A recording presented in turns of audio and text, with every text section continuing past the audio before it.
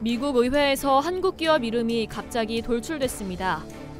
애플 CEO가 의원들에게 삼성, LG 등을 거론하며 독하게 경쟁 중이라고 격한 발언을 했는데요. 시장 독점을 따지기 위한 자리에서 미국 IT 대기업이 한국 기업들을 들먹이며 죽을 맛이라고 한 겁니다. 29일 아마존, 애플, 구글, 페이스북 등 미국의 4대 기술 기업 최고 경영자들은 비록 화상회의긴 하지만 처음으로 한자리에 모였습니다. 마크 저커버그, 순다르 피차이, 제프 베이조스, 팀쿡 등 내로라 하는 경영인들입니다. 유쾌한 자리는 아니었습니다. 하원 법사위원회가 이들 거대 IT 기업의 시장 독점 문제를 파악하기 위해 개최한 화상 청문회였습니다.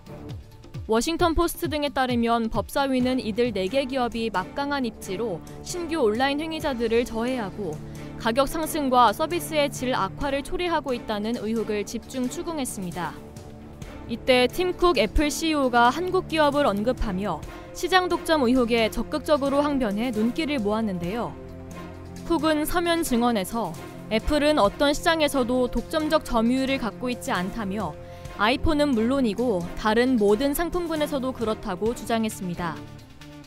그러면서 스마트폰 시장은 지독하게 경쟁이 심한 곳이라며 삼성, LG, 화웨이, 구글 같은 기업들은 다른 접근법을 제공하며 매우 성공적인 스마트폰 사업을 일궜다고 말했습니다. 삼성 등과 경쟁하느라 힘이 드는 상황인데 시장 독점이 웬 말이냐는 볼멘 소리입니다. 그는 이어 500개의 앱으로 시작한 애플의 앱스토어엔 현재 170만 개의 앱이 있고 이 중 60개 앱만이 애플이 만든 것이라며 우리는 방해하는 것이 아니라 가능한 모든 앱을 수용하고 싶다고 덧붙였습니다. 애플이 현재 앱스토어 독점으로 폭리를 취하고 있다는 의혹을 의식한 것으로 보입니다. 그는 또 애플 제품과 서비스에 대한 고객의 높은 만족도, 미국에서 200만 개가 넘는 일자리를 창출했다는 점을 강조했습니다. 이 밖에도 베이조스 아마존 CEO는 글로벌 소매 시장은 현저하게 크고 이례적으로 경쟁적이라며 아마존은 매일 타깃, 코스트코, 크로거, 월마트 같은 확실하게 자리를 잡은 대형 사업자들과 경쟁하고 있다고 강조했습니다. 저커버그 페이스북 CEO는 우리의 이야기는 경쟁과 혁신을 장려하는 미국의 법 없이는 불가능했을 것이라며 모두를 위한 공정 경쟁을 보장하는 강력하고 일관적인 경쟁 정책이 중요하다고 생각한다고 말했습니다. 그는 전 세계인들이 우리 제품을 쓰지만 페이스북은 자랑스러운 미국 기업이라며 우리는 민주주의, 경쟁, 포용, 표현의 자유라는 미국 경제의 근간인 가치들을 믿는다고 전했습니다.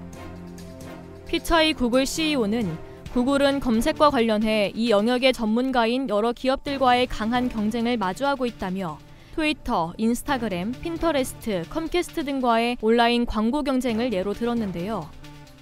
그는 우리는 다른 이들의 혁신을 지원하는 플랫폼을 의도적으로 구축하고 있다며 수천 개의 장비 제조업체와 통신사들이 안드로이드 플랫폼을 활용할 수 있도록 해 최첨단 스마트폰의 가격 인하를 가능하게 했다고 강조했습니다.